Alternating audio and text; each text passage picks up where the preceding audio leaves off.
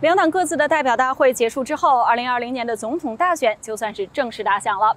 两党的竞选团队都在为十一月三号做准备，而无论谁当选总统，无论他竞选时的策略是什么，都必须要面对当下考验美国的两个重点议题。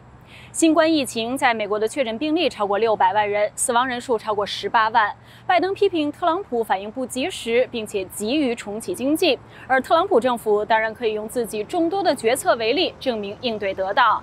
而当初拜登还曾经反对实行旅行禁令，对白宫来说有一点确定无疑：疫情的源头来自中国，当初隐瞒真相的中国政府才是病毒扩散至全世界的真正责任人。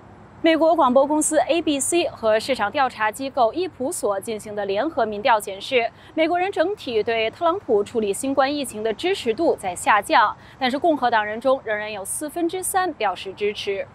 但是分析人士认为，大选前疫情如何发展对选民的决定不会产生太大的影响，反而是选民的政治倾向决定了他们如何看待疫情。They're almost no more persuadable. Uh, you know, elect uh, um, voters at this point. People have their mind made up.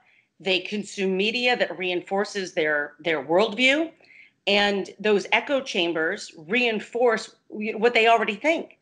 Um, so, you know, it is difficult to ascertain to whom you know the COVID nineteen pandemic helps or hurts. It really is in the eye of the beholder. 另一个问题是，近期争取种族平等的抗议和其中难以完全避免的暴力行为。民主党支持和平抗议，在少数族裔选民中得到了广泛的支持，但是有分析担心，这些抗议活动反而会对民主党不利。随着抗议活动一起发生的少数抢劫、破坏等暴力活动，给民众和商家造成了损失。而参议员兰德·保罗被抗议者包围和追逐的画面也引起了反响。共和党强调维护法律与秩序，在此时似乎显得正合时宜。新闻机构 Axios 在全国范围进行的民调结果显示，一半以上的美国人依然支持 BLM 抗议和诉求，但在对赢取大选起到关键作用的摇摆州，民主的反应可能更有决定性的作用。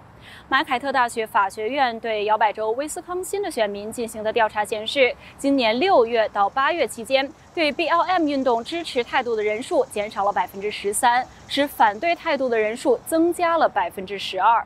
目前，综合各大机构最新的民调结果，拜登领先特朗普六个百分点。这个差异比起此前的结果已经是在缩小。同时，特朗普的基本盘依然稳定。Axios 针对2016年的特朗普支持者进行的民调显示，百分之九十六的人会继续投票支持他。